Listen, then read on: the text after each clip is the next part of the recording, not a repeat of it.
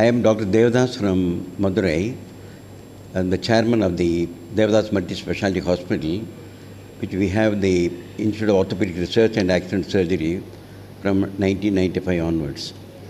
And I am very happy to note my Shishya, Dr. Vidyasagar Reddy, who did his uh, DNB from 2004 to 2007 in our institution. He was a very brilliant student from the day one onwards, from he joined our institution as a postgraduate. And his career has been very phenomenal. Within the matter of 15 to 16 years, he has done a lot of surgeries in Kadapa and he established a very good name in arthroplasty. I am very happy to note that he has completed 100 cases of robotic knee surgery in the last two to three months period.